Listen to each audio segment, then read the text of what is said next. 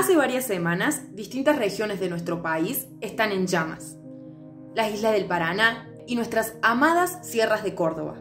Esto evidenció un rol clave en nuestra sociedad, el de hombres y mujeres que forman parte de los cuerpos activos de bomberos voluntarios. En la provincia de Córdoba existen más de 180 cuarteles y las personas que lo forman velan por la vida y los bienes materiales de su comunidad. Su misión es intervenir no solamente en casos de incendio, sino también situaciones como derrumbes, inundaciones, accidentes, etc. Esto implica horas de capacitación y estar siempre disponible para salvaguardar vidas, aunque esto implique poner en riesgo la suya. Él es Roberto, mi abuelo. Él es Gustavo, mi papá.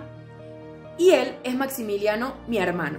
Los tres bomberos voluntarios de la provincia de Córdoba. Hoy, desde el lugar de nieta, hija y hermana de bomberos voluntarios, quiero que sepas esto. Los bomberos voluntarios realizan esta noble labor de manera voluntaria. Algunos dicen que por el simple hecho de servir al otro. Su espíritu de servicio, su vocación de servicio es lo que los mueve a seguir, aunque la recompensa solamente sean palabras y agradecimientos. Ellos no quieren un sueldo, lo único que exigen es un retiro digno. En el 2015 se le solicitó al gobierno de la provincia de Córdoba modificar la ley 8058 para asegurar a los bomberos voluntarios de nuestra provincia un futuro digno, habiendo cumplido por lo menos 25 años de servicios y tener la edad jubilatoria. Su labor es dignificante y debemos asegurarle su futuro.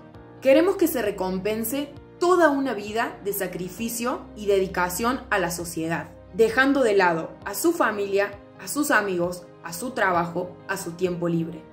Si de verdad querés ayudar a los bomberos voluntarios de la provincia de Córdoba, compartí este video, difundilo, que llegue a quien tenga que llegar, a los gobernantes que puedan hacer esto posible. Apelamos a su sensibilidad humana para darle a nuestros bomberos voluntarios lo que piden y merecen, un retiro digno.